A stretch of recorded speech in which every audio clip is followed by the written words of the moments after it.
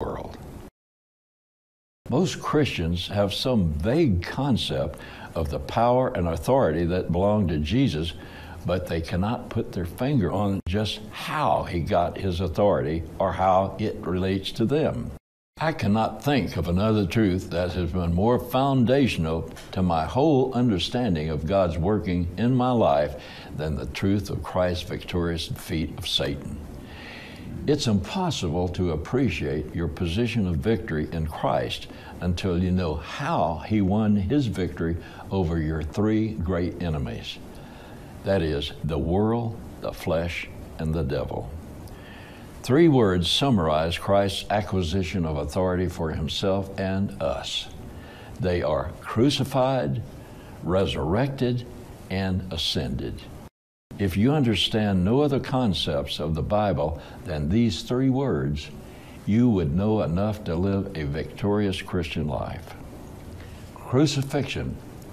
When Christ hung on the cross with our sins on him, he was not only bearing our sin and its consequences of death, but we were actually hanging there on the cross with Him.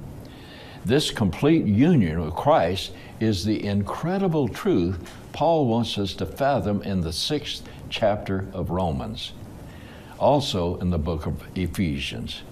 When God poured out His wrath and judgment upon our sins, he not only judged Christ with the guilt of our sins, but he judged us too.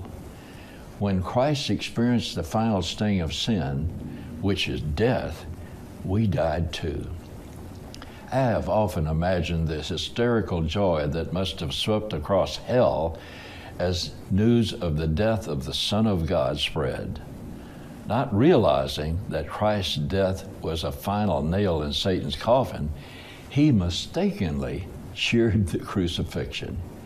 You see, many times in Jesus' life, Satan tried to get Jesus to sin so he would be vulnerable to sin's consequences, that is, death. When he saw Jesus assume the sins of mankind and then voluntarily die because of those sins, Satan thought he had finally won in his conflict with God. He had cleverly gotten God's first perfect man, Adam, to sin, and now God's second Adam, Jesus Christ, the perfect one, was also bearing the sin and death. There must have been a wild celebration between Satan and his demon hordes for those three days and nights, a real lost weekend. But then a sobering and deadly hush fell over Satan's forces as these astonished beings observed the greatest display of power ever unleashed from the hand of Almighty God. The Son of God was resurrected from the dead, and so were we. Resurrection.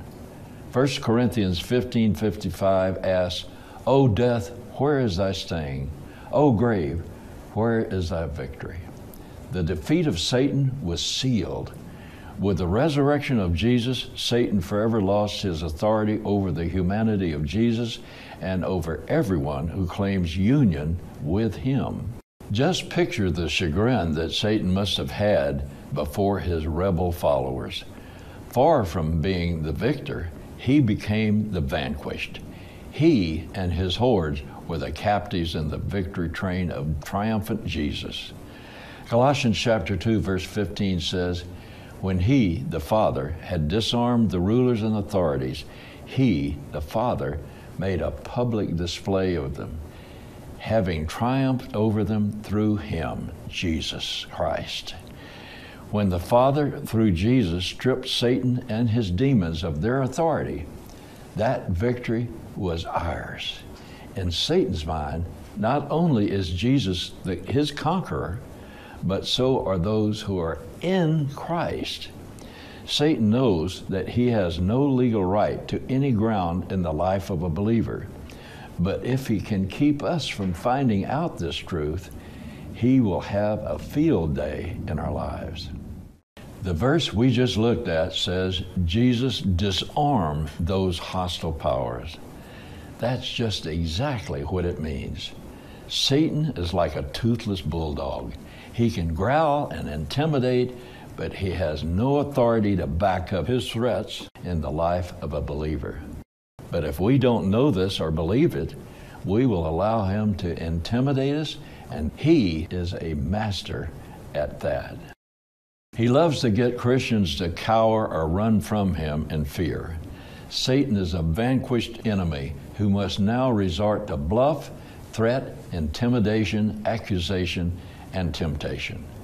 The believer who does not know and count upon his complete union with the person of Christ in his crucifixion and resurrection is a prime target for these clever attacks of Satan. Ascended with Christ. I said that there are three words that comprise Christ's position of authority over Satan. We've briefly seen what Jesus' crucifixion and resurrection have done to the hosts of hell. The culmination of God's whole redemptive plan was to place Christ on the throne at his right hand, forever putting Christ's enemies under his feet. Any enemy of Christ is an enemy of ours, and anyone put under Christ's feet is put under ours also, because we are actually members of his body. How can I say it and make it understood? We are members of his body. We are in Christ. Because of my total identification with Christ in the mind of God, whatever is true of Christ is true of me. Jesus is now seated on his throne in heaven at the right hand of God, the center of the greatest power and authority in the whole universe and we are seated there with him. He has delegated to us the use of the same authority he has and the power to use it over mutual enemies while we are here on earth. Isn't that fantastic? Listen to what God declares in Ephesians chapter 2 verses 4 through 7. But God, being rich in mercy because of his great love with which he loved us, even when we were dead and our transgressions made us alive together with him or in Christ. By grace you have been saved, and raised us up with him, and seated us with him or in him in the heavenlies, in Christ Jesus, in order that in the ages to come he might show the surpassing riches of his grace and his kindness toward us in Christ Jesus. God has so completely dealt with me, the sinner, and my sins, that He has already seated me in the heavenlies in Christ. While I talk to you from behind the desk here in the great state of Texas, I am at the same time seated with Him in the heavenlies. We don't have to wait until we die and go to heaven before this becomes true. It's a reality right now. If you have never personally asked Jesus Christ to come into your heart and forgive all your sins through his shed blood, do it right now. He will, from that moment on, clothe you with his own righteousness. Do it now.